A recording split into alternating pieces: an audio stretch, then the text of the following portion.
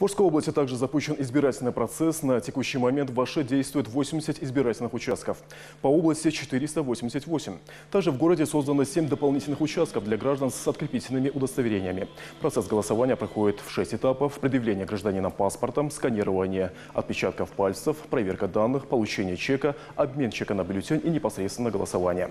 По словам председателя городского избирательного комитета Распека Нурдинова, в связи с внедрением в избирательный процесс новых технологий проголосовать сегодня смогут только те граждане, которые сдали биометрические данные. Таких избирателей по городу зарегистрировано 133 388, а по области около 570 тысяч.